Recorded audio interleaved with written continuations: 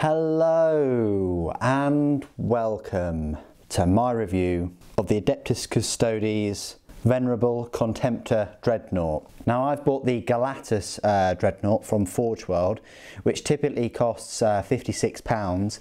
Then I've also purchased a multi-melta, a Contemptor uh, multi-melta um, separately which is £10 so that's £66 to get your uh, Contemptor Dreadnought looking like this.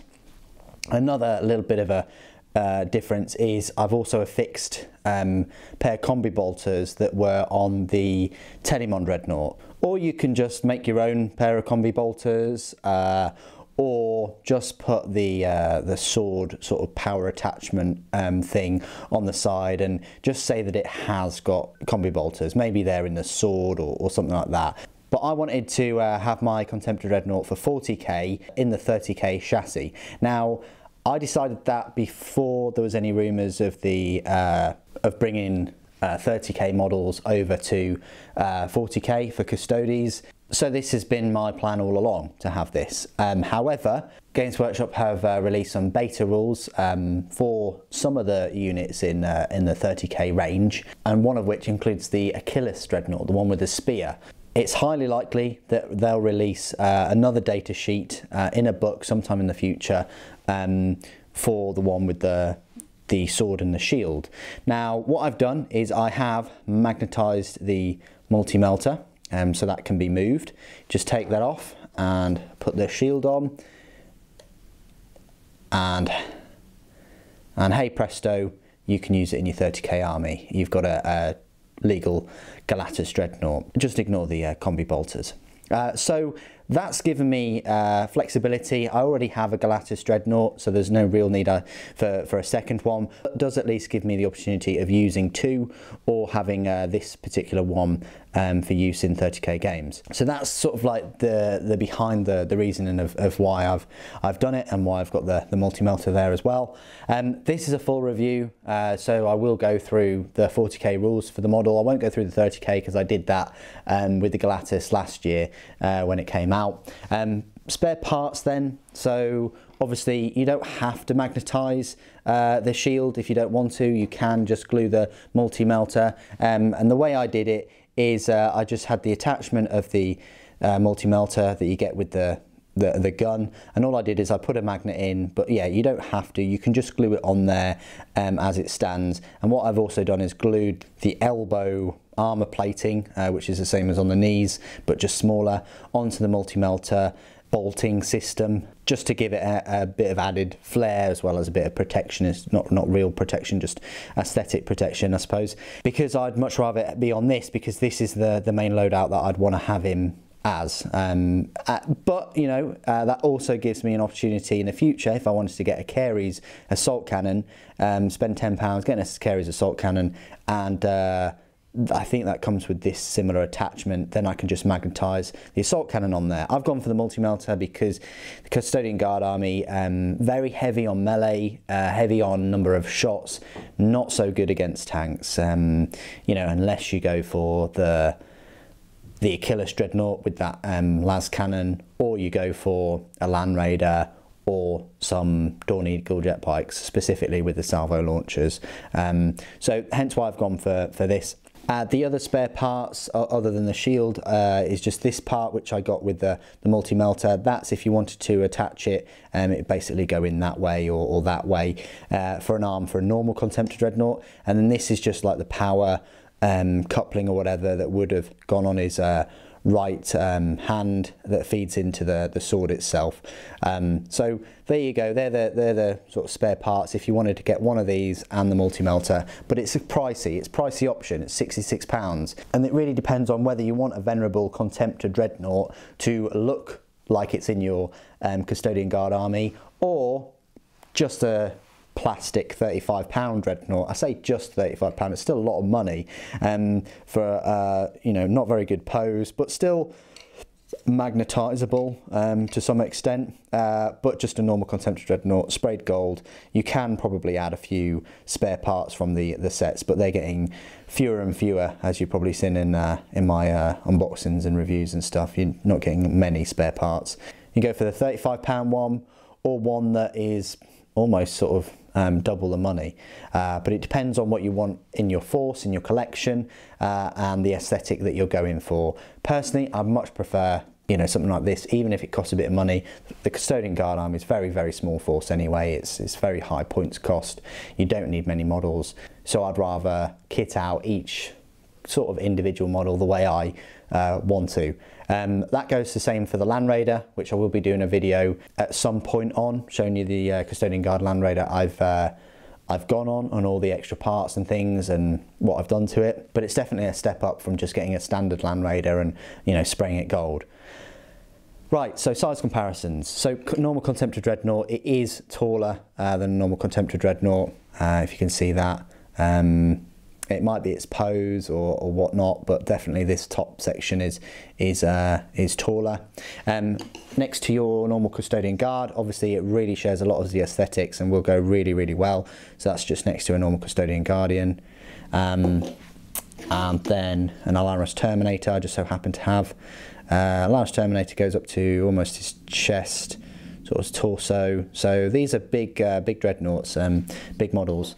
Um, and the Aquilon Terminator. Uh, yeah, so Dwarfs and Aquilon Terminator 2. I don't know why, but I've got a Vertus Praetor there. Just goes to show you sort of how, just goes to show you how long that lance is. Um, longer than a, or taller than a um, Contemptor Dreadnought. And the bike itself, it's quite a good size comparison, is, yeah, taller as well. So these bikes aren't, aren't very small. You know, they're a good, uh, good size, even though they are um, shorter than the, uh, the World ones. Um, next to a couple of other dreadnoughts then, uh, got the Redemptor dreadnought here, um, massive, massive thing. It does, uh, it is bigger than a, uh, a Contemptor dreadnought, um, and obviously, you know, more posable because it's plastic. Uh, so just to show you how big uh, Redemptor is. And then the largest dreadnought, the Telemon dreadnought. They might put the rules in uh, for this one, um, who knows, but uh, there we go, that's it next to the Telemon. Telemon is, uh, you know, fair bit bigger, uh, you know, than the, uh, than the Contemptor. So hopefully that helps. Um, next to a couple of Space Marines then. So you've got a Primaris and a normal sort of standard Space Marine. Standard Space Marine probably be able to run through his, under his legs. Um, yeah. And then the Primaris is, yeah, up to his sort of groin, groin area. So I hope that helps. It's kind of, I want to say double the height, a bit less than double the height of a, of a Primaris um, Space Marine. So it just goes to show you these things still tower over the battlefield. Okay, so this is my part of the review where I will go through all of the rules. Obviously, I'll be talking to you about the 40k rules today. Um, I've covered the Galatus Dreadnought with the shield uh, in a video last year uh, with his 30k rules or his Horus Heresy rules. Um, so you'll find him in your brand new Codex Adeptus Custodes book. Um, he's in the elite section which is sort of hotly contested. Uh, there's quite a few things in there now, especially with these uh, beta rules um, that are out. Uh, you've got everything in this elite section from uh, custodian wardens, which are you know uh, a better sort of version of the custodian guard and have access to the castellan axes. Uh, the Vexilus Praetor in Allarus Terminator armor, a normal Vexilus Praetor, uh, and the Allarus custodians, you know the the Terminator uh, custodes. So hotly contested, much like their HQ section. So the Venerable Contemptor Dreadnought uh, will cost you power points of a 10 and match play points cost of 130. Then you've got to buy the uh, the weapons. The Kheres Pattern Assault Cannon is 25 points, but the Multi-Melta is an extra 27. So that's 157 plus the combi bolter is 2, 159, and then the dreadnought close combat weapon is a whopping 40. So that's 199 points, almost at the 200 points marker, but I feel that under 200 points for this model is very decent.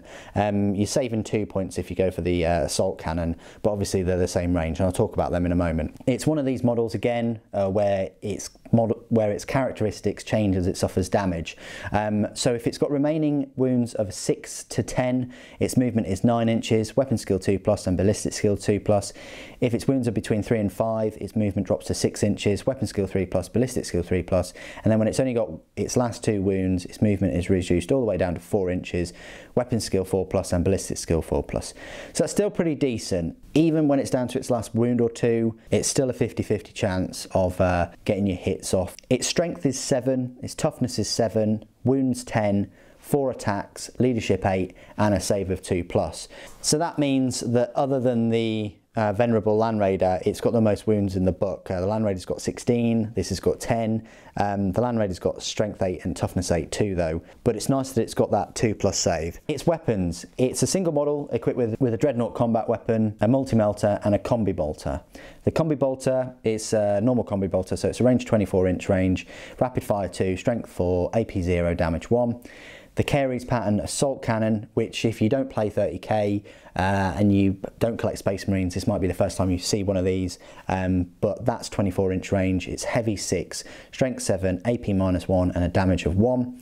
Uh, and then a multi-melta, same range, 24 inches, heavy 1, strength 8, AP minus 4, damage D6, and also if a target is within half range of the weapon, you roll two dice when inflicting damage and discard the lowest result. So that's a nice little uh, bonus. And the close combat weapon times the strength by two, so you, have got a strength of 14 there, AP minus three, which is decent, and a damage of three, you know, which is decent too. It's not a damage of D6 or D3, it's a solid three, so, that, so that's brilliant. It can replace its multi-melta with the Kheres pattern assault cannon, and it's up to you if you want to do that. You're getting more shots at heavy six, you're only getting one less strength at strength seven. This is very nice strong uh, weapon. Uh, the AP does drop to minus one and you're only getting damage one, um, but it's nice to get those six shots, uh, especially with uh, ballistic skill of two plus. There's a high chance you're going to be hitting and wounding and slightly affecting their, their save and throw. Uh, but the multi-melta is where it's at, especially against uh, vehicles and, and heavily armoured units. Its abilities, it has adamantic shielding, so the model has a 5 plus invulnerable save. Unfortunately, you can't use this model with the Aegis of the Emperor. It doesn't have Aegis of the Emperor in the ability, so you can't use it with that. It has its own 5 plus invulnerable save. And because it's not an infantry or biker unit, um, you're not going to get uh, Sworn Guardians or the Emperor's Chosen, so you're not going to improve that invulnerable save by one either and get, and get a 4 plus invulnerable. Would have been nice, it really would have, but that's not going to happen. Um, unyielding Ancient. Roll a d6 each time the model loses a wound, and on a 6 the damage is ignored, and that wound is not lost.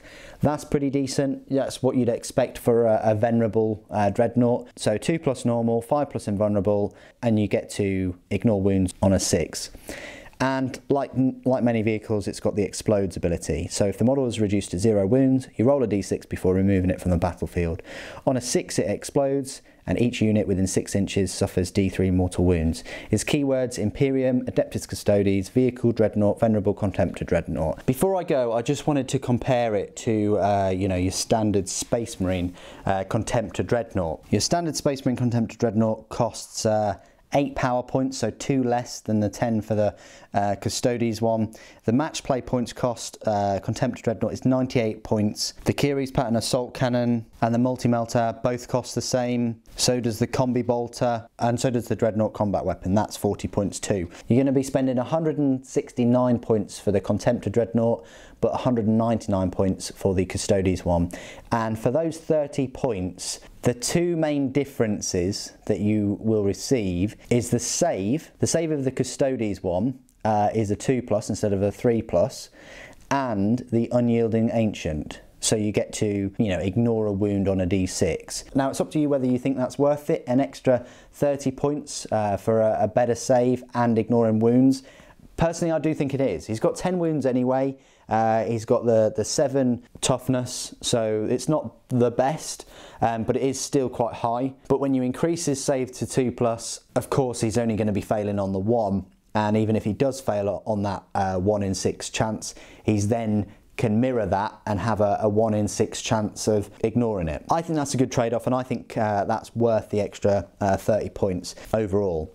But I just wanted to make that comparison. Okay, and that is the end of my review. Uh, what do you guys think of the Venerable Contemptor Dreadnought? Uh, do you have a, a, normal Contemptor that you sprayed gold and use in your games? How has it performed? Is it a good choice? Do you think it's uh, better than uh, the Allarus Terminators or even the Wardens? You know, it's essentially got an effective range of 33 inches uh, with its movement of 9 inches. It's what the, the third fastest thing in the Codex. Only the Land Raider is a little bit faster at movement 10 inches. Put all your opinions and thoughts and things down below. It'd be great to, to read them. Thank you ever so much for joining me today. Thank you for watching. The Emperor Protects.